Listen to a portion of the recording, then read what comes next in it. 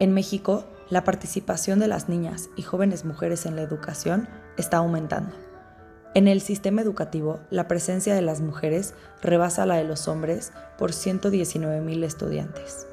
Su participación resalta sobre todo a nivel media superior y superior. Pero ¿qué está pasando con las niñas en STEM? Las barreras para las niñas empiezan desde la primaria.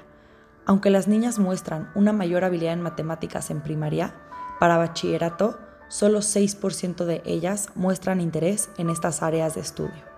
Al llegar a las carreras, esta brecha de género crece aún más. Actualmente, la matrícula de hombres en carreras STEM es más del doble que la matrícula de mujeres, y por lo tanto, en el mercado laboral, solo 3 de cada 10 profesionistas STEM son mujeres. Es crucial atraer a más niñas a estas áreas de estudio desde los primeros años de escuela, a través de programas de mentoría y atracción de talento.